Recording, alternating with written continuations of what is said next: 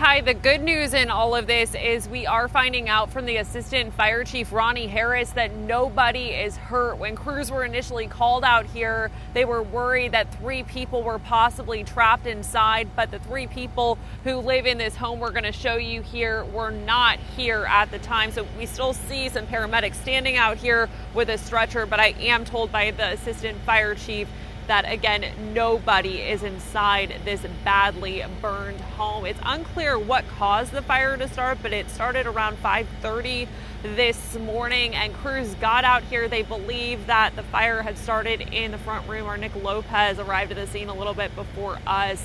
Uh, as this fire was still going on, but it, uh, the assistant fire chief tells me that it didn't take them very long to put this fire out. So that's some good news in all of this, too. And again, the three people who were supposed to be here this morning were actually not inside the home when crews got here, but we still have a lot of crews out at the scene. We've got the Washington Park Fire Department still here, as well as one ambulance left. Again, there are three ambulances here when we uh, first arrived here, but nobody was hurt in this fire. Crews are still working to determine what exactly caused this fire to start. I'm told they're going to be out here for about another hour or so, and then Illinois' uh, fire marshal's office is going to be taking over what exactly caused this fire to spark. They do not think it's suspicious at this, this point in time, but we do see police out here and we'll keep you posted with the very latest. And you'll hear from the assistant fire chief coming up in our next half hour.